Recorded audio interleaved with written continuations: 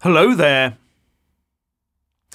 Banning the odd terrorist group now and again is making no difference. Root out the individuals concerned and then jail and deport where necessary.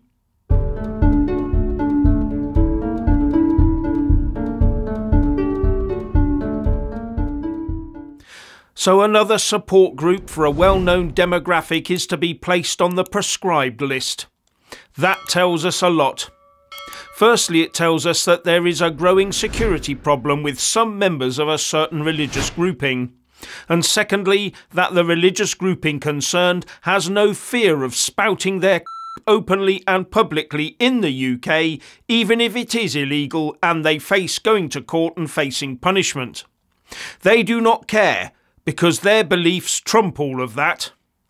The Home Secretary, James Cleverly, has laid a draft order in Parliament to proscribe, that is, to ban, one of the groups behind the pro Palestine marches, Hizb ut-Tahrir. That, by the way, is already banned in Germany, Bangladesh, China, Pakistan, Kazakhstan, as well as all other Central Asian countries, Indonesia, as well as all Arab countries except Lebanon, Yemen, and the UAE. So it looks like the UK is very late to the party here. But it does add it to a growing list of over 50 proscribed organisations in the UK. But let's see if the members of Hizb ut-Tahrir take any heed or just swap to a new organisation with a fresh name. And then the security forces have to go through all the same procedures again to get that one banned, if it does anything at all. But the same people will be behind that new group. But when Labour gets in, I expect there'll be a reason to uh, clear them anyway. But surely, if an organisation becomes proscribed, it means that those that run it have been guilty of breaking some crime or other. So are we going to see prosecutions and deportations over it? And why are we seeing a growth in the number of people and organisations in the UK that are basically anti UK to the point of criminality? Could it have anything at all to do with our government's slovenly approach to controlling our borders? Anyway, I get the feeling that the government was hoping that MI5 would come up with the name of a far right group to proscribe. Maybe Rishi and his mob were hoping their current nemesis, Reform UK, could be put on the list. Then they could arrest Tice and Farage, something the lefties, including many in the Tory party, have been dreaming of for years.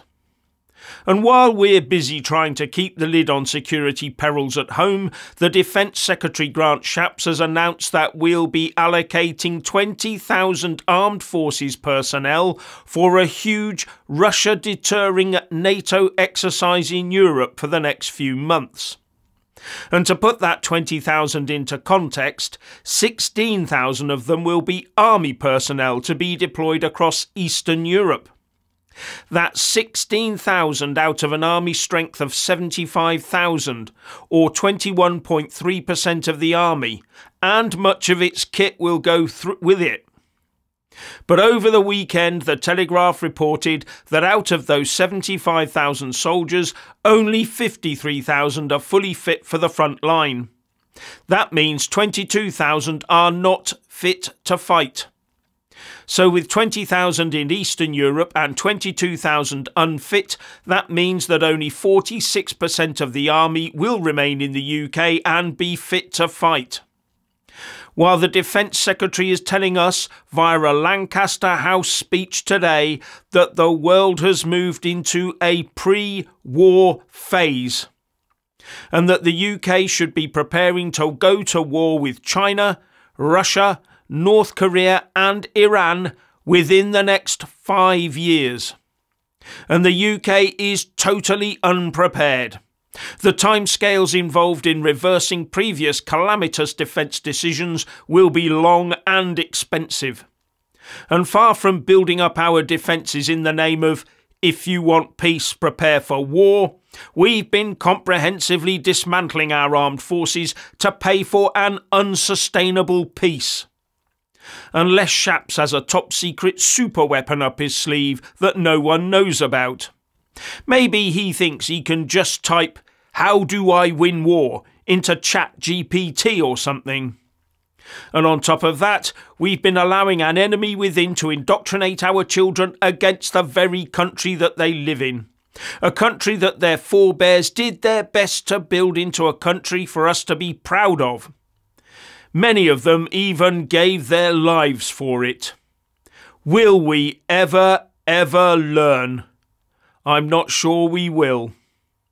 And while all this was going on, part three of the Rochdale Grooming Gang report came out.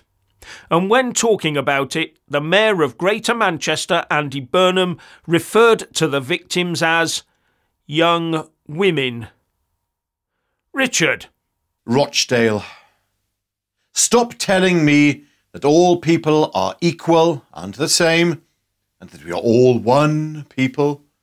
Just because our blood may be the same colour, it doesn't make us all the same. And no, I don't care what colour your skin is or your ethnicity. However, there are fundamental differences between us, based on, let's just say, our software. Look, I have just been reading about the way the, the police allowed the abuse of our young in Rochdale to carry on, virtually un unopposed abuse which was perpetrated by a certain problematic demographic in our society and country and in Europe. People who spoke out against this abuse were then branded racists and far right and phobes. I'm not going into the full detail of the horror of what what went on there, and as many of you know, I don't do detail. That's Jeff's job because he's Mr. Detail and meticulous in his breakdowns. My job is to provide broader context to the news and reframe it properly for you. So I have to say the utter depravity of the the perpetrators of these hideous crimes, which include not just a certain type of hideous abuse, but also murder. I mean, I, I most certain because of this, I most certainly will not be going into detail, not here anyway. The people who did this on such a scale are not like us because their belief system allows them to commit such evil on a grand scale that it must have met with complete approval from within their communities. So, according to a report or review cited by the BBC, 96 known men known, who some of you would say are from a a certain problematic demographic. These people carried out attacks repeatedly in an industrial scale abuse scandal against youngsters. Apparently, these 96 men were only a proportion of the men involved. Sort of a tip of an iceberg. This all took place between 2004 and 2011. And I ask you if you think things have changed in the way that this demographic views our young and vulnerable. Do you think that's changed?